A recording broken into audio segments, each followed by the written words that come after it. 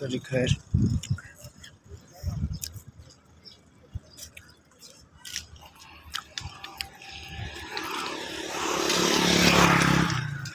मैं अब पहुँच चुका हूँ।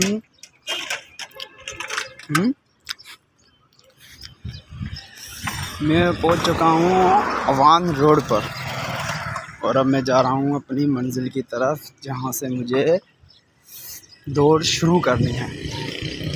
हमारे पास में ये देखो। शायद घर होगा। हम्म? और अब ये सोसाइटी जो है शायद डिफेंस सोसाइटी है ये। ओह ये I B I B A college.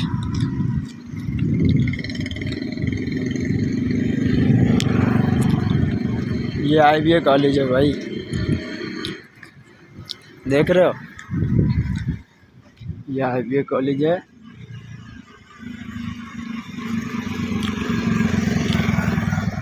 और यहाँ से तकरीबन डेढ़ किलोमीटर दूर है, जहाँ से मुझे दौड़ स्टार्ट करनी है। क्योंकि मैं दौड़ पर आया हुआ हूँ पुलिस की दौड़ है। आज आठ मई है, फ्राइडे का दिन है और मेरी दौड़ है। तकरीबन साढ़े तीन बजे। धूप भी शदीद है, बहुत ज़्यादा गर्मी हुई हुई है और मुझे भी बहुत गर्मी लग रही है इसलिए और इसी वजह से मैं अभी अभी नींबू पानी पी कर आया हूँ, पर फिर भी मुझे दोबारा प्यास लगने लगी है और ये नहीं पता क्यों। पर देखते हैं। अल्लाह खैर करेगा। दौड़ में तो पास हो जाएँगे यार। ऐसी बात नहीं आप भाइयों की दुआ कर, चाहिए मुझे बस और कुछ नहीं। और इन जैसे ही दौड़ में पास हो जाएँगे तो इन इन इन फिर एक और वीडियो डाउनलोड करेंगे और आपके पास भेजेंगे वो वीडियो ताकि आप देखें उस वीडियो को। तो आपका भाई वर्दी में कैसा लगता है और कैसा नहीं लगता है? ठीक हो गया? जो, ये देखें। ये सोसाइटी नहीं है, ये बहुत आला सोसाइटी है। यहाँ पर यहाँ पर एक्चुअली मसला ये है ना। यहाँ पर एक्चुअली मसला ये है कि ये जो अमीर अमीर जितने भी हैं, यहाँ पर सबके यहाँ पर घर हैं। और आपको पता होगा, शायद नहीं।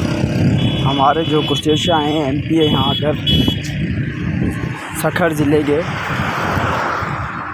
तो वो भी, उनका भी घर यहीं है। उनका घर थोड़ा आगे है, पर है इसी लाइन में। तभी तो तभी तो ये इतना फ़ेमस है, पागल। अबे यार, देख क्या क्या सोसाइटी है यार।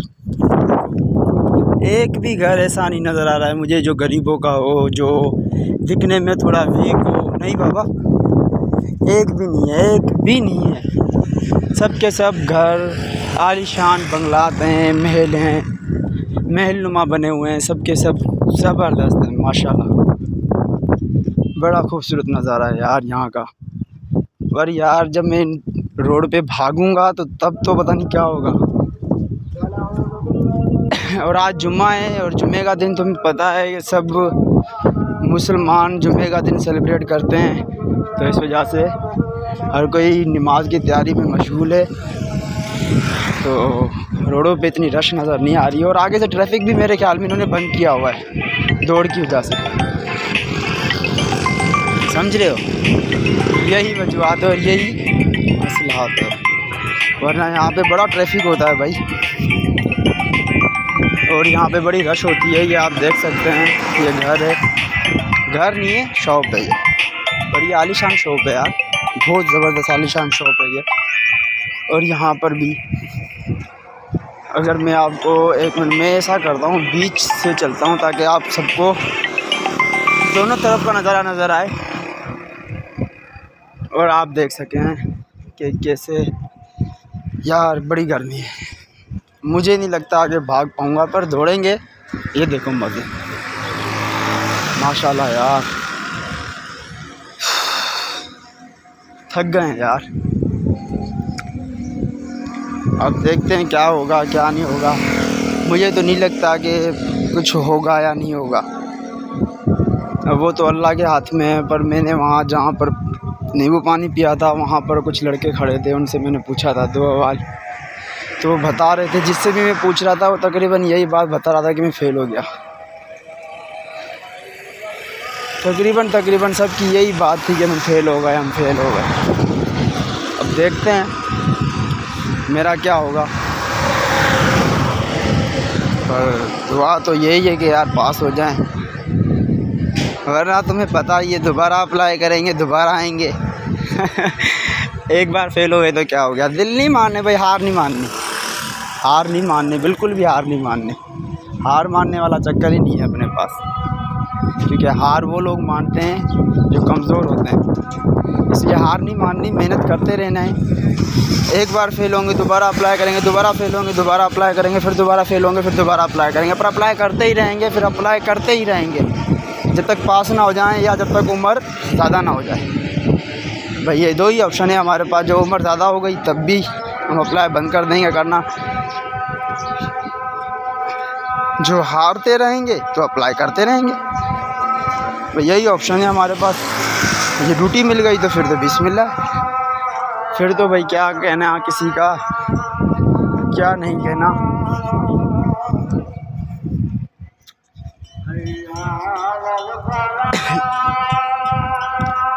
पर सुबह वाले जो लड़के हैं, चलो पहले अजान सुन लेते हैं यार, अजान आ रही हाँ।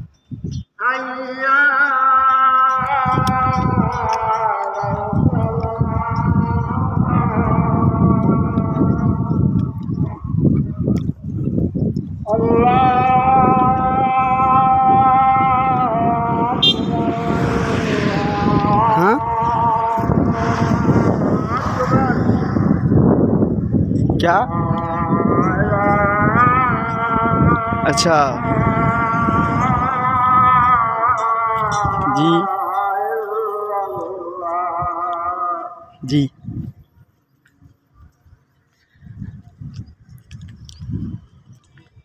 अच्छा एक एक बात और आपको पता है?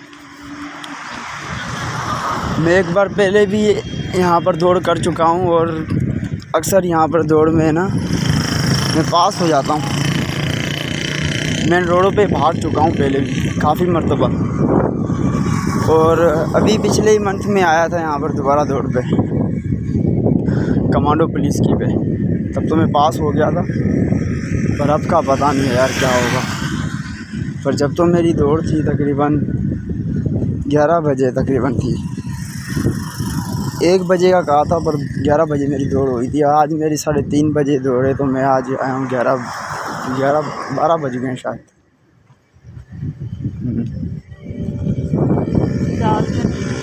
यही यही तो बात है हमारे इदारे की। टाइम कब का दिया है और फाइनल कब कर रहे हैं। पर अच्छा भी यही है यार कि टाइम से फ़ाइनल कर देते हैं, फ़ारिग कर देते हैं। हम भी जल्दी आ जाते हैं इसी वजह से कि भाई हमको जल्दी फ़ारिग कर देंगे ये। वरना हम तो देर करते ना। पर ये हमें देर नहीं कराएँगे इन इस बार पर लड़कों ने मुझे जो बताया है, अल्लाह खैर करेगा, वो बात सच ना हो, क्योंकि वो लड़के मुझे बता रहे थे, कह रहे थे, जो भी साढ़े नौ बजे तक था, जिनकी दौड़ थी साढ़े नौ बजे तक वो सारे के सारे दौड़ फाइनल कर चुके हैं। तीन शिफ्टें भाग चुकी हैं। अब चौथी जो शिफ्ट है, वो साढ़े चार बजे तक उनको चार बजे, साढ़े चार बजे तक उनको भगाएँगे। उससे पहले नहीं। तो देखना यह है कि कब तक भगाते हैं और कब तक नहीं भगाते। जा के, चल के वहाँ पर पूछते हैं, पूछताछ करते हैं कि ऐसा है भी या नहीं है। या हमें इंतज़ार करना पड़ेगा या वेट करना पड़ेगा, वो तो फिर वो वही बताएँगे, वरना हमें तो ये पता नहीं चल रहा फ़िलहाल। देखते हैं।